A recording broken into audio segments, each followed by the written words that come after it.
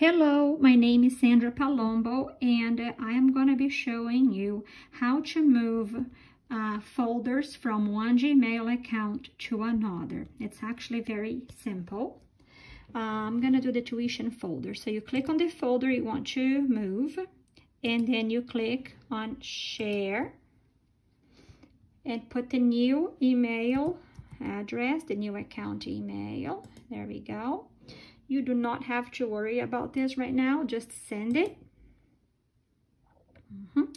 Then you go to the new account and then open the email. Open the email. There it is, tuition folder. You open it. When you open the email, don't click on open. Go straight here in the little folder and click click it and uh, then up here where it says has two little people you click in there. And then you click on editor. And this is important part. You click on uh, make owner here. Make owner. And it will display a message here. You want to click yes.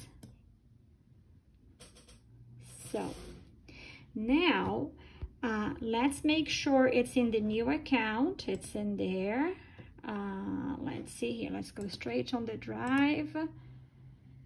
See if the tuition folder is there. There it is, tuition folder. It's there. Now I'm going to go to the previous account, the old account. And uh, let's see, tuition folder is here.